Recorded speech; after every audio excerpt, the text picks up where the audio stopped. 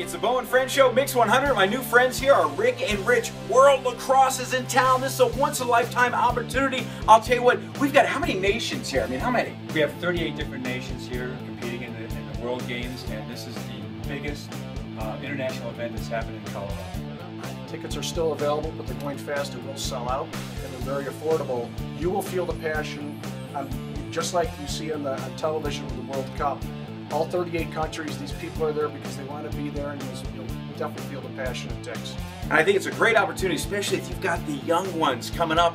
You know, hey, see the best in the world. They're here. Don't miss this opportunity. And I'll tell you what. Um, I'm, I'm, a novice to lacrosse. What can they really get away with? Because I know they're banging out there. I mean, this, this. What can get away with? Uh, there's some physicality to it. I mean, there's some bump, bumping and everything, but um, it's not like a football game. It's not going to see somebody laid out, uh, you know, helmet to helmet stuff. But there's a lot of contact. There's a lot of people.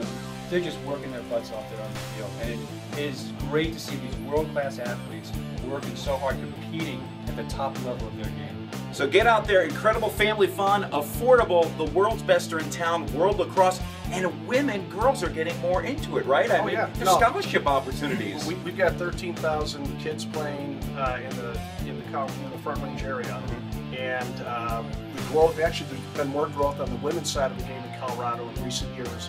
And yeah, scholarship opportunities absolutely at the Division One level, but uh, you know, Division Two, Three, it's all growing. In fact, it's one of the few sports that is growing in the United States. It's been covered uh, in. You know what I love is World Cup soccer was so big right now, and I know kids were watching it going, oh, I want to be on that TV someday in front of the masses, the millions. And of course, you got the Super Bowl, kids watching, they're going, wow, I want to be playing that football game.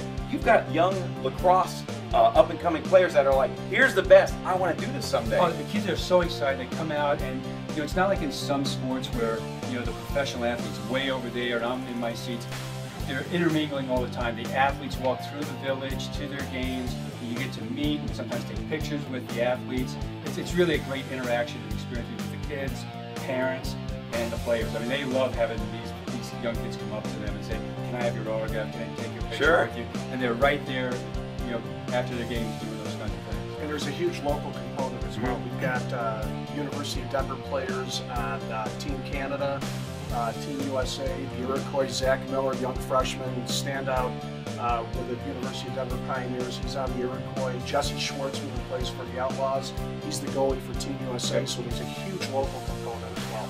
Love it. The best in the world, World Lacrosse, Rick Rich. Hey, it's affordable and the players are accessible. Get out there and enjoy. You want to win tickets for Saturday night's games? Click on the link below.